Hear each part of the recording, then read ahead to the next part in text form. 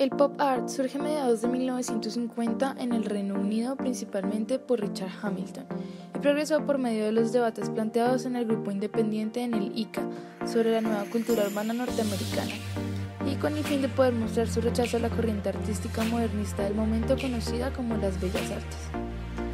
Por otro lado, respecto a los inicios del pop art en Estados Unidos, el mismo nace como reacción al expresionismo abstracto que según ellos era un movimiento vacío, así como también elitista, pues la gran mayoría de personas no entendían el contenido de las imágenes.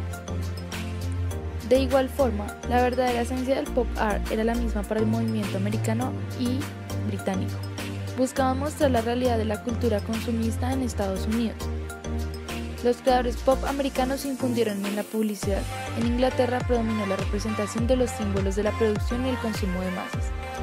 Buscaron unos y otros dar forma a un arte que fuera tan vital y diverso como la vida contemporánea tras la Segunda Guerra Mundial, que fuese accesible a todas las capas sociales, una que abriera las puertas entre el arte y la vida cotidiana. Este movimiento se desarrolla dentro de la cultura de masas y el marco del capitalismo y la reproducción industrial lo que significa que las obras surgidas dentro del mismo estarían influenciadas, en cierto modo, por ambas corrientes. Así, podría decirse que estamos frente a un arte reproducible, por lo cual el arte pop busca los valores estéticos de los objetos cotidianos. Es entonces cuando surgen artistas como Robert Rauschenberg, quien explora en sus cuadros lo mínimo, inestable y efímero. Pintó en 50 cuadros totalmente blancos la sombra del y otros totalmente negros. Su filosofía estética se relaciona con la de John Cage, favorable a desenfocar la mente del espectador e inducirle a abrirse a su conciencia y ambiente. Sus cuadros vivos casi que rodean a quien los observa. La obra de Jasper Jones es más disciplinada e irónica, a diferencia de Rauschenberg, utiliza imágenes aisladas y banales que destacan por su falta de relevancia. El espectador busca un significado concreto, el artista crea una superficie. Richard Hamilton, miembro del grupo independiente, presentó en 1956 en la exposición This is Tomorrow de la Whitechapel su obra fundamental, que hace que los hogares de hoy sean tan diferentes, tan atractivos. En ella podemos observar un atleta recortado de una revista culturista y una bailarina de strip.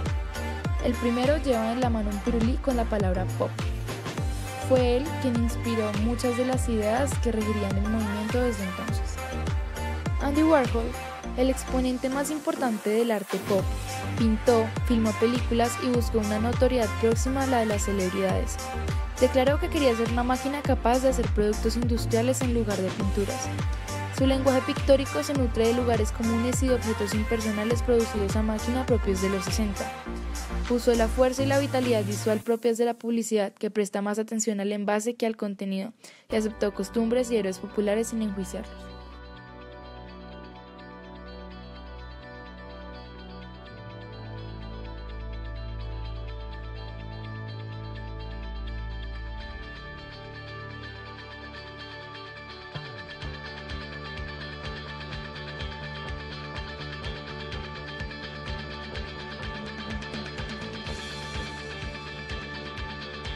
Otras veces buscaba calmar la reacción de la audiencia ante lo que enseñaba, pues incluía referencias perturbadoras como Jackie tras el asesinato de Kennedy, Marilyn tras su suicidio, o accidentes instantáneos de delincuentes. Repitió imágenes en ampliaciones fotográficas que serigrafiaba en lienzo modificándolas solo con capas de color sintético. Repetición y color eran su clave.